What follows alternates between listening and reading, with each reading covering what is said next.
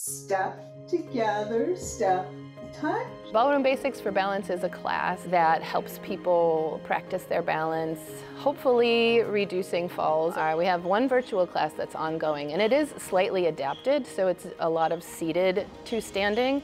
I think some of the biggest transformations have been people reporting that they fall all the time in their daily life. And then, you know, maybe after five, six, seven weeks, people coming back standing taller. You can decide how much you shift over. We can reduce people's fear and they feel more comfortable doing their everyday activities. Then we're doing it and, um, and it's fun while we're doing it.